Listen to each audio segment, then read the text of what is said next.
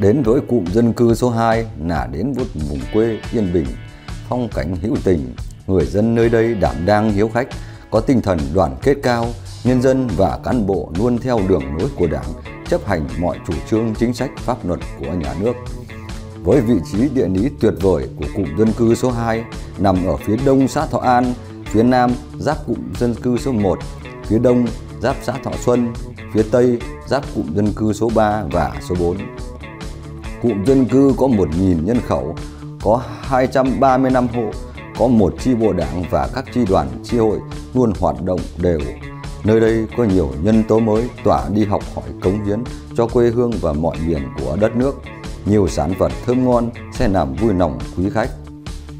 Từ Hà Nội theo đường quốc lộ 32 Hà Nội Sơn Tây đến thị trấn Phùng cách 5 km lại theo đường tỉnh lộ 417 bạn sẽ về với cụm 2 xã Thọ An. Nơi đây có những cánh đồng cây sai chiếc quả như bưởi, đu đủ, lúa ngô bát ngát, hương thơm mỗi khi rộ chín. Về với cụm 2 xã Thọ An, không thể không ghé thăm điếm thờ xóm Đặc Hai, xưa kia là nước bình dân học vụ. Trong kháng chiến chống Mỹ, nơi đây là nước tiểu học cho các cháu thiếu nhi.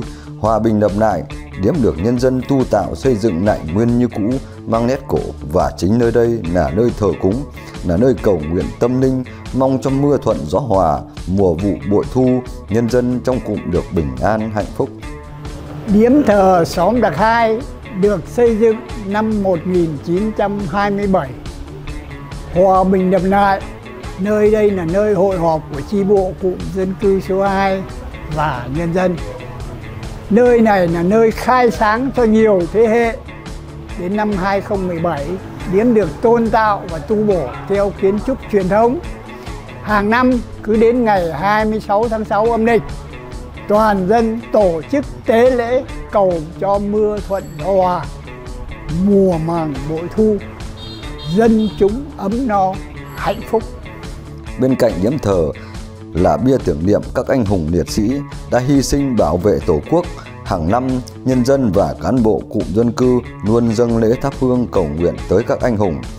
Cũng ngay điếm thờ là một cây đề gần trăm năm tuổi, luôn thi gan cùng tuế nguyệt trời đất, quanh năm tỏa bóng mát là nơi dừng chân nghỉ ngơi của nhân dân mỗi khi đi làm đồng về.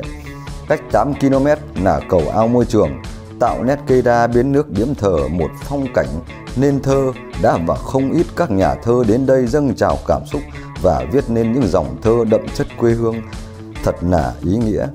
Chạy dọc theo ven nàng vào các đường trong cụm, hai bên được trồng cây cảnh và các bức tranh bích họa với nét đồng quê phong cảnh hữu tình. Năm 2023, cụm dân cư được giải khuyến khích sáng xanh sạch đẹp của huyện. Đây cũng là động lực để nhân dân cán bộ cụm dân cư phấn đấu.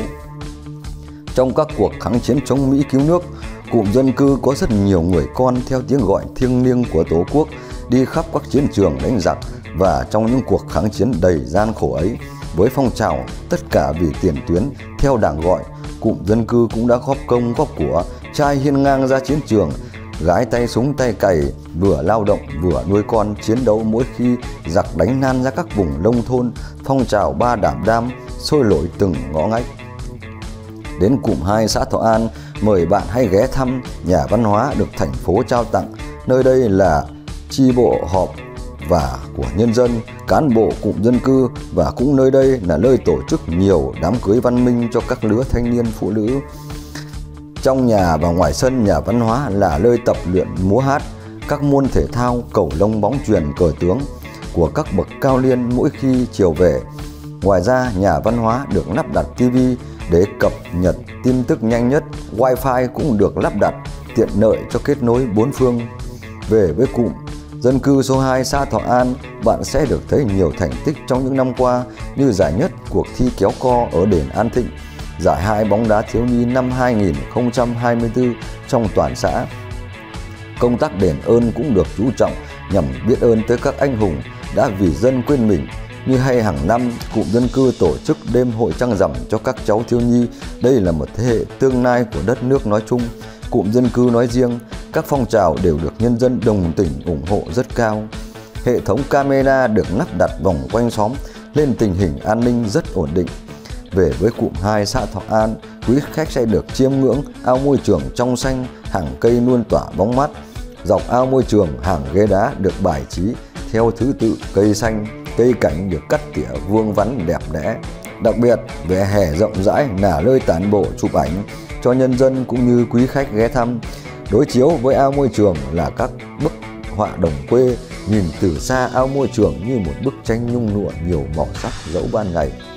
Khi đêm xuống, lồng qua ánh sáng của đèn đan lượng, càng tô thêm nét nung ninh huyền ảo dạng người. Những thành công của dân cư gặt hái được hôm nay là do sự đồng lòng nhất trí cao của nhân dân với biết bao thế hệ lãnh đạo lớp trước đã vun đắp và tâm huyết. Dạo vòng quanh cụm dân cư số 2, xã Thọ An, khi dừng chân nghỉ ngơi, quý khách sẽ được thưởng thức, nhìn lựa chọn nhiều cây trái, hoa quả, các món ẩm thực ngon như bún bánh, giò chả các loại, được ghé thăm nghề chế tác đá phong thủy của các doanh nghiệp, cơ khí và nghề mộc truyền thống lâu đời. Với địa lý thiên nhiên ban tặng kết hợp với văn minh tiến bộ trong thời đại mới, cụm dân cư số 2, xã Thọ An luôn mở rộng vòng tay đón chào quý khách về thăm để lưu lại những tình cảm khắc sâu khó phai mờ. Bạn hãy về cụm hai thỏa ngắm trông, quê tới đó cây trồng đeo chiêu quả nhiều cảnh đẹp, con người luôn đon đả đón phút đầu xa lạ cái bắt tay. Bên thềm vui tiếng hát rộn mỗi ngày, đường thoáng rộng đất nay thì cao giá đâu còn nữa theo châu cày vội vã, đổi mới rồi làm ăn khá giàu nhanh.